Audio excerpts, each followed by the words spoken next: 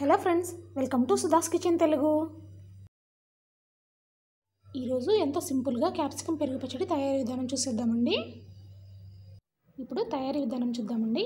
ముందుగా స్టవ్ మీద ఒక కడాయి పెట్టుకోండి. మూడు టీ స్పూన్ల ఆయిల్ తీసుకొని అందులో నాలుగైదు మెంతులు హాఫ్ టీ స్పూన్ పచ్చనపప్పు హాఫ్ టీ స్పూన్ జీలకర్ర హాఫ్ టీ స్పూన్ ఆవాలు వేసుకోండి. ఇందులోకి ఒక రెబ్బ కరివేపాకును వేసుకుందాము.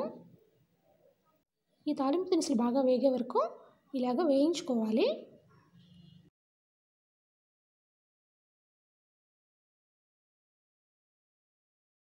తాలింపు దినుసులు ఈ విధంగా బాగా వేగాక ఇప్పుడు సన్నగా తరిగి పెట్టుకున్న ఆనియన్ పచ్చిమిర్చి అలానే అల్లం తరుగును వేసుకొని ఈ విధంగా ఆయిల్లో ఫ్రై చేసుకోండి.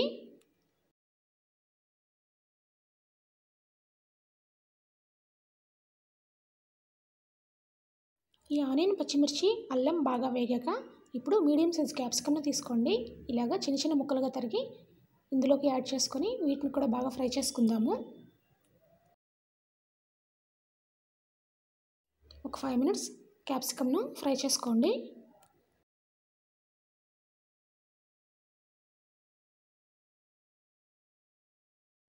క్యాప్సికమ్ను ఇలాగ బాగా వేయించుకోవాలి.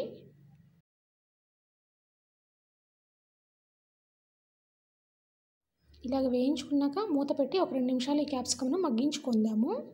ఈ క్యాప్సికమ్ రెండు నిమిషాలు మగ్గాక ఇప్పుడు ఒకసారి వీటిని మూత తీసి మిక్స్ చేసుకోండి. ఇలాగా క్యాప్సికమ్ను బాగా వేయించుకోండి. క్యాప్సికమ్ ఒక మగ్గిందో లేదో ఒకసారి చూద్దాము. ఇప్పుడు ఇందులోకి ఒక పావు టీ స్పూన్ పసుపును యాడ్ చేసుకోవాలి. అలానే తగినంత ఉప్పును కూడా యాడ్ చేసుకొని బాగా మిక్స్ చేసుకోండి. క్యాప్సికమ్ పెరుగు పచ్చడి పది నిమిషాల్లో ప్రిపేర్ చేసుకోవచ్చు అండి ఎంతో ఈజీగా క్విక్గా అయిపోతుంది. చాలా అంటే చాలా టేస్టీగా ఉంటుంది.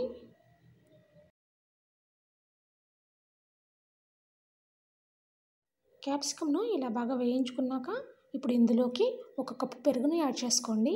కమ్మటి పెరుగు అయితే చాలా రుచిగా ఉంటుంది. ఇలా పెరుగుని యాడ్ చేసుకున్నాక ఒకసారి మిక్స్ చేసుకోండి. అంతేనండి ఎంతో టేస్టీగా ఉండే క్యాప్సికమ్ పెరుగు పచ్చడి రెడీ.